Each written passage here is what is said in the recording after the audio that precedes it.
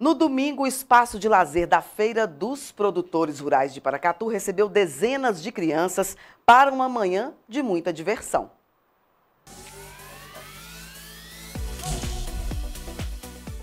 Nesta edição, o espaço de lazer teve cama elástica, pula-pula, pintura facial, oficinas criativas, jogos de mesa, espaço kids e muita, muita recreação.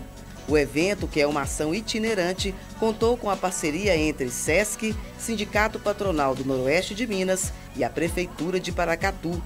A iniciativa, denominada antigamente como Rua de Lazer, segue promovendo momentos de descontração com música, brincadeiras, jogos, aprendizado e divertidas oficinas.